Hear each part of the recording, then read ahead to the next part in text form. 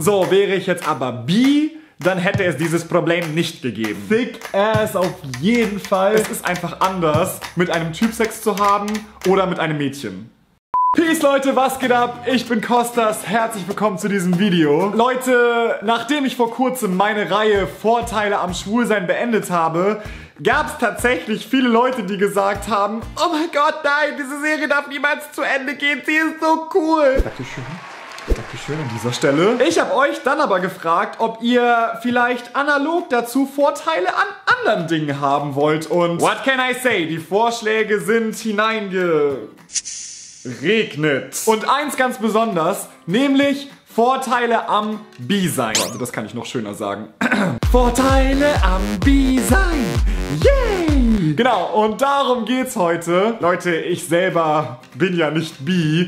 Von daher sind die Erfahrungen und die Vorteile, die ich euch heute präsentiere, nicht aus erster Hand, aber tatsächlich viel von euch. Ihr habt mir viele Dinge in die Kommentare geschrieben. Ich habe ein bisschen im Internet recherchiert und deswegen würde ich sagen, laber ich jetzt gar nicht vorweg, sondern fang einfach an. Fangen wir direkt mit dem alleroffensichtlichsten an, die Auswahl. So, das ist das, was mir ungefähr eine Million Mal vorgeschlagen wurde. Du hast einfach doppelte Auswahl. Bitch, it's true. Wobei, wollen wir mal pingelig sein. Also, es gibt 70 Millionen mehr Frauen auf der Welt als Männer. Das heißt, wenn du jetzt statt nur auf Männer zu stehen bisexuell wärst, würde sich deine Auswahl sogar mehr als verdoppeln. ja. Nur weil du bisexuell bist und du potenziell Interesse an mehr Leuten hast, heißt es natürlich nicht, dass die Leute auch Interesse an dir haben, ne? So, I'm sorry, aber nur weil du bi bist, heißt das nicht, dass die Leute bei dir Schlange stehen. Hate to break it to you. Aber trotzdem hast du mehr Auswahl. Next! Okay, du kannst potenziell mit jedem zusammen sein, den du richtig cool findest. Bitch, let's be honest. Also, wie oft kommt es vor, dass du jemanden triffst, der die gleichen Interessen teilt wie du, der einen ähnlichen Humor hat, der dich intellektuell herausfordert und der dann noch mit deiner Familie und deinen crazy Freunden klarkommt. Genau. So weißt du, und dann triffst du diese Person und ich weiß nicht warum, ich habe das Gefühl, es ist wirklich in vielen Fällen dann der beste Freund oder die beste Freundin, aber du findest ihn oder sie zero sexuell attraktiv, weil sie leider nicht dem Geschlecht entsprechen, das du sexy findest. Leute, kein Joke, ich habe wirklich in meinem Leben schon ab und zu diesen Satz gedroppt. Wenn ich hetero wäre, würde ich mich locker in dich verknallen. So, und jetzt stell dir vor, dass in dieser Situation das Geschlecht keine Rolle spielen würde, weil du sowohl Mädels als auch Typen sexy findest und der Liebe steht nichts im Weg. Es klingt immer so, als wäre es so für Bisexuelle total einfach, den Partner fürs Leben zu finden. Das will ich damit nicht sagen. Ich wollte nur sagen, dass es dann vielleicht in dieser Situation nicht an der nicht zusammenpassenden Sexualität scheitert. Dein Liebes- und Sexleben ist abwechslungsreicher. Okay, selbst wenn du als Person, die nur auf ein Geschlecht steht, nicht wirklich darunter leidest, weil du ja dann die Vorstellung mit dem anderen Geschlecht Sex zu haben eh nicht sexy findest und dich das nicht antönt, ne? Ist es ja aber trotzdem so, dass du begrenzt bist. Es ist einfach anders, mit einem Typ Sex zu haben oder mit einem Mädchen. Wenn du jetzt aber sowohl auf Frauen als auch auf Männer stehst, Dude, dann öffnen sich ganz neue Türen in den Körper. ah! Wenn du keinen Bock mehr auf Ladies hast, dann datest du halt Boys. Okay, diesen Punkt habe ich im Internet gefunden, aber ich fand ihn so charmant und funny formuliert, dass ich gedacht habe, ich muss ihn mit aufnehmen. Also, Leute, ich bin mir sicher, dass die meisten von uns schon mal durch eine richtig beschissene Trennung gegangen sind. Oder ich weiß nicht, ob du es schon mal gesagt hast oder ein Freund von dir und wenn nicht, dann hast du es hundertprozentig schon mal in jeder Serie gehört. Oh, wisst ihr was? Ich bin raus. Ich habe die Schnauze voll. Frauen sind mir zu anstrengend. Daten ist nichts für mich. Ich kaufe mir einfach später einen Hund und werde mit dem glücklich. Und der liebt mich dann wenigstens auch zurück.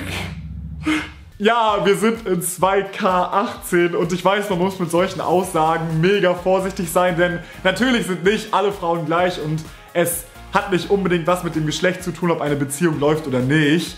Da. Ich weiß nicht, ich kann mir trotzdem vorstellen, dass wenn du jetzt mit einem Geschlecht mehrfach schlechte Erfahrungen gemacht hast, dass es spannend sein kann, sich auf das andere einzulassen. Die Beziehung dann mit einem anderen Geschlecht bringt nochmal neue Herausforderungen mit sich und ist einfach spannend. Okay, diesen Punkt hatte ich damals auch schon in meinem Vorteile am Schwulsein Video, wo ich euch coole Mitglieder der Gay-Community präsentiert habe und heute möchte ich das gerne tun mit der B-Community. Angelina Jolie, Fergie. Wobei, als ich das gelesen habe, war ich mir nicht so richtig sicher, ob das wirklich stimmt oder ob sie das nur gesagt hat, weil sie Aufmerksamkeit wollte. Kesha, Bella Thorne, Pink, Magnus Bane und mein Liebling Channing Tatum. Also ich sage mal, I know this for a fact. Wenn ihr danach googelt Channing Tatum B, findet ihr auf jeden Fall auch Suchergebnisse. Er hat nämlich mal zur Zeit, als er Magic Mike gedreht hat, getweetet, dass er von der Pure Masculinity von seinen Mitschauspielern angeturnt ist und dass er das auf jeden Fall sexy findet. Also, Channing Tatum. Du kannst immer mitreden. Leute, okay, also das ist wirklich so. Ich hatte das schon ein paar Mal in meinem Leben, wenn so meine Hetero-Kumpels sich darüber unterhalten haben, wie thick die Asses von den Ladies sind oder wie fein ihre Boobs sind dass ich da so neben saß und dachte, was? Oh, oh ja, ja, pff, Mann, thick ass auf jeden Fall. Leute, ich glaube, ich gehe mal kurz mit meinem Hund. Für immer? Nein. Ja, glaubt ihr, die haben gemerkt, dass ich gegangen bin? So, wäre ich jetzt aber bi, dann hätte es dieses Problem nicht gegeben. Ich habe kurz darüber nachgedacht, ob das auch Auswirkungen auf Beziehungstipps und Beziehungsprobleme hat, aber irgendwie denke ich mir so, okay, nur weil ich ja selber nicht mit einem Mädchen zusammen bin, habe ich ja trotzdem genug Empathievermögen, um mich in die Situation zu versetzen und mir das vorzustellen und da hilfreiche Tipps zu geben. Weil so on the bottom line sind es ja die gleichen Probleme, mit denen man zu kämpfen hat, oder? I don't know. What do you think? Du hast mehr Spaß und Identifikation in Büchern, Serien und Filmen. Ich weiß ja nicht, wie das bei euch ist, aber ich würde schon sagen, dass ich mich prinzipiell mehr für Homo-Beziehungen interessiere als für Hetero-Beziehungen in Filmen und Serien und so. Ja, keine Ahnung. Also, wenn es zwischen Mädchen und Junge ist, interessiert es mich einfach nicht so sehr, wie wenn es zwischen Junge und Junge ist. Das soll jetzt trotzdem nicht heißen, dass ich pauschal so alle Hetero-Beziehungen hasse. Auf keinen Fall. Also, Jack und Rose haben es trotzdem geschafft, mein steinernes Herz ein bisschen zu erweichen. Aber ja, so in der Regel ist es trotzdem so. Und keine Ahnung, das finde ich jetzt mega spannend und das wollte ich euch mal fragen. Also, ich stelle mir das so vor, wenn du jetzt bi bist und du sowohl mit dem einen als auch mit dem anderen Erfahrung gemacht hast, kannst du wahrscheinlich auch zu beidem besser relaten. Auf der anderen Seite könnte ich mir aber auch vorstellen, dass man sich nie so hundertprozentig repräsentiert fühlt, weil ja, weil es eben entweder gay also lesbian und gay, oder straight ist, aber selten bi. Keine Ahnung, das ist nur das, worüber ich mir Gedanken gemacht habe. Du kannst mir ja mal sagen, falls du zufällig bi bist, wie du das siehst. So, okay, und jetzt der letzte Punkt, den ich so ein bisschen aufteile. Wir besprechen ein bisschen davon heute und ein bisschen im nächsten Video.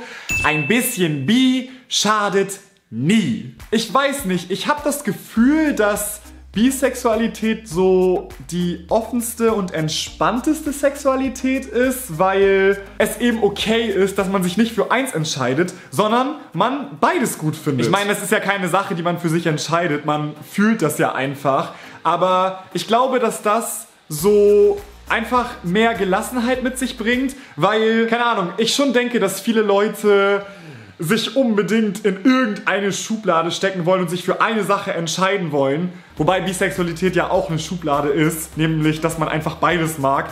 Aber ich stelle mir einfach vor, dass wenn du ja nicht diesen Stress hast, dich für eines zu entscheiden, weil du weißt, I like this and I like this, dass das generell mit mehr Verständnis und mehr ja, Gelassenheit einhergeht. Keine Ahnung, ich habe das Gefühl, dass aber voll viele Leute richtig verkrampft sind und sagen so, nein, ich muss das oder das sein. Und bei Bisexualität ist es eben so, Beides. Äh, ich weiß nicht, ob ich das jetzt unglücklich ausgedrückt habe, aber darüber reden wir nochmal genauer im nächsten Video. Denn ich habe nämlich einen richtig coolen Kommentar von Kleine Rebellen dazu bekommen, die das alles so ein bisschen kritischer beäugt, die nämlich auch gesagt hat, dass anscheinend Bisexualität selbst in der Community manchmal Schwierigkeiten hat, richtig anerkannt zu werden, weil ja anscheinend öfter gesagt wird, ja, Bisexualität ist eigentlich nur der Weg zu einem, also entweder hetero oder gay, aber That's not true. Es ist einfach eine existing Sexualität, die genauso eine Daseinsberechtigung hat wie alle anderen auch. Aber ja, darüber reden wir in the next video und auch darüber, warum man überhaupt sich selber mit einer Sexualität bedrucken muss. Also warum haben wir so einen Drang danach zu sagen, okay, ich bin das, ich bin das, ich bin das. Warum können wir nicht einfach so sein, I don't know. Vielleicht heute fick ich das, morgen fick ich das.